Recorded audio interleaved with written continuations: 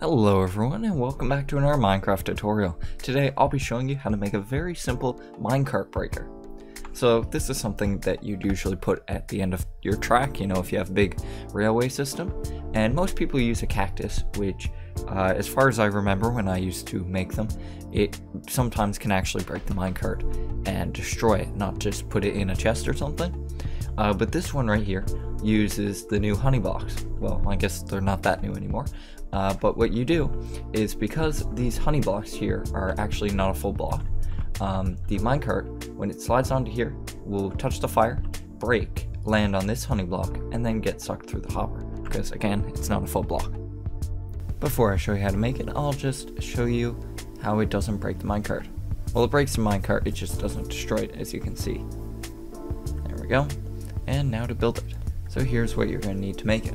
You're going to need a barrel. I wouldn't recommend a chest. Some blocks of your choice. A hopper. Two honey blocks. One flint and steel. One netherrack. One powered rail. One lever. And one minecart. So, you're going to start off by placing your barrel underneath and just make sure you can access that somewhere after. Then a hopper going into it with a netherrack with fire, like that. Then you're to place your two honey blocks. Oops like that. Let's just replace that right there.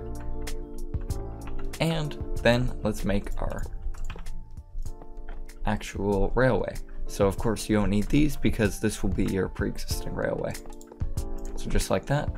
And then we'll take our lever, place it just like that, and we can test it out. And let's test it out. So as soon as the minecart touches the honey block, it gets broken and put in the barrel There we go. And that's going to be pretty much it. So as always, thank you for watching. and I'll see you in the next video. Bye bye.